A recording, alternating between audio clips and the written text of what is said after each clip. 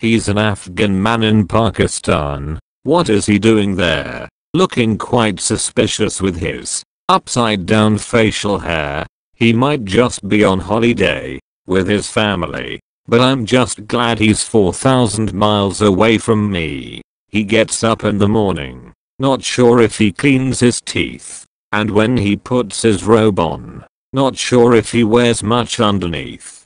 But this guy he means business. Just look into his eyes.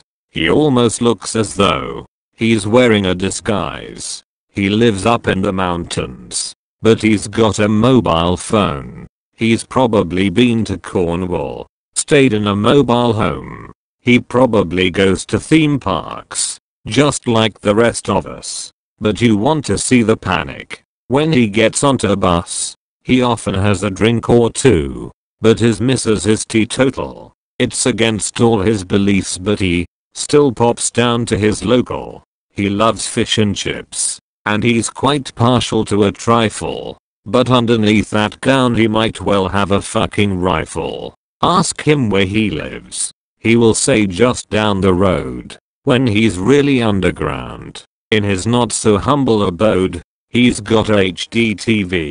And all the modcons. But there's no electricity. So he just sits there making bombs. When he was in Pakistan. Back home there was a raid.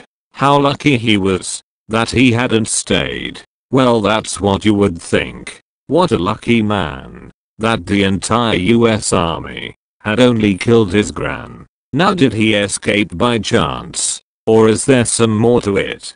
Did he give up his gran for UK citizenship? I'm not the one to say. That is not my place. But now he lives in Bolton. Because we don't discriminate. He's an Afghan man in Bolton Stan. What is he doing here? Looking quite suspicious and filling me with fear. He might just be on holiday with his family. But I'm not very happy that he lives next door to me.